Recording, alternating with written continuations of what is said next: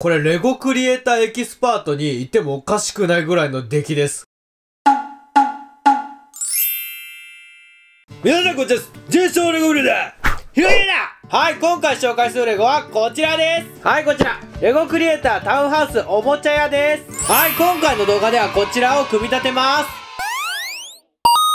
はい、今回はこちらを組み立てます。ちなみにこちらは去年の秋頃に梅田のヨドバシカメラで買いました。値段は5000円以下で買いました。僕はレゴクリエイターのこういう建物系が結構好きです。あの、ちなみにこちらもジャケ買いしました。はい。で、今回はこちらのおもちゃ屋以外にケーキ屋とフラワーショップに組み替えれます。はい、箱の後ろはこのようになってます。今回も完成度がかなり高く見えます。これは組み立てるのが楽しみです。では開けます。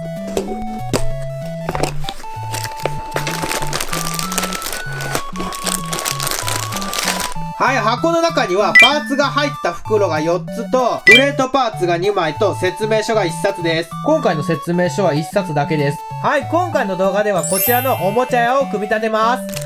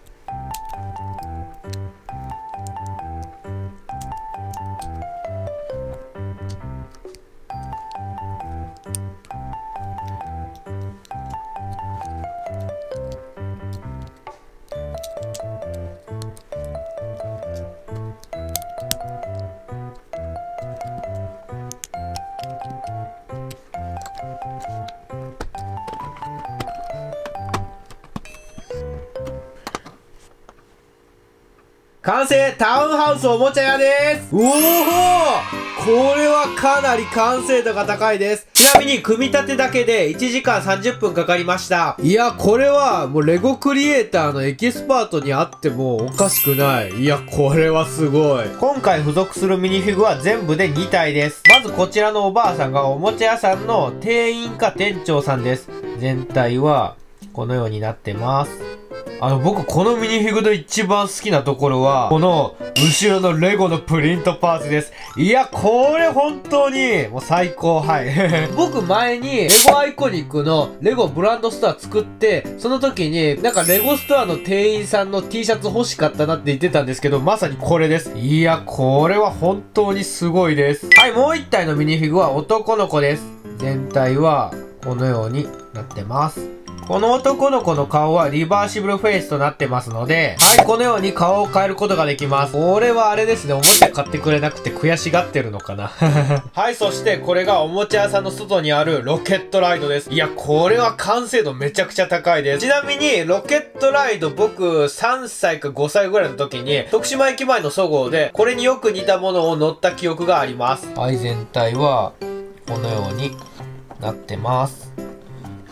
ここがコインの投入口だと思います。そしてこのスペースライドは、こちらのギアを回すと動きます。では、動かします。うおー、すごい。これ本当に遊園地とかデパートの屋上にあるロケットライドです。これすごい。ロケットライドのロケットの造形もかなり凝ってます。そしてこのロケットライドにミニフィグを座らせれます。では付属の男の子に座らせます。はい、乗せてみるとこんな感じです。このまま動かすこともできます。ちなみに普通のミニフィグでも乗せることができます。はい、そしてこちらがおもちゃ屋です。冒頭でも話したんですけど、これレゴクリエイターエキスパートにいてもおかしくないぐらいの出来です。全体はこのようになってます。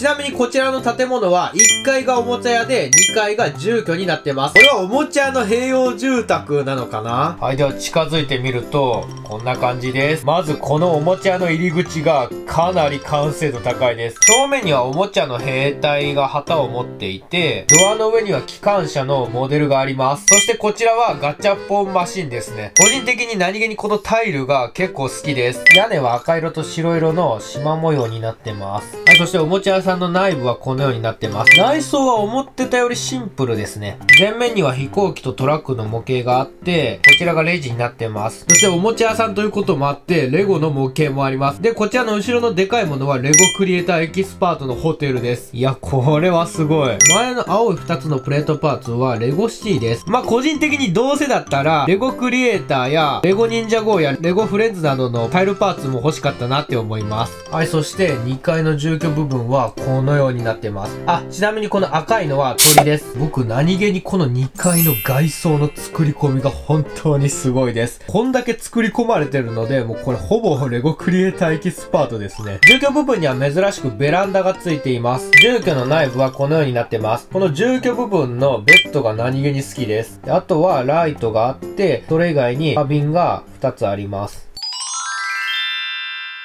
ではここから以前紹介したレゴシティつながるロードプレート交差点が今回作ったタウンハウスのおもちゃ屋さんと拡張できるか検証したいと思います。厚さ的にちょうどぴったり合いそうなんですけど、これ大丈夫かな？じゃあ行きます。ここからすると。おおちょうどぴったりです。うわ、これすごいな。ご覧ください。道路とタウンハウスのおもちゃ屋がぴったり合います。このタウンハウスのおもちゃ屋さんが角地にありそうなので、この信号機を外します。これで。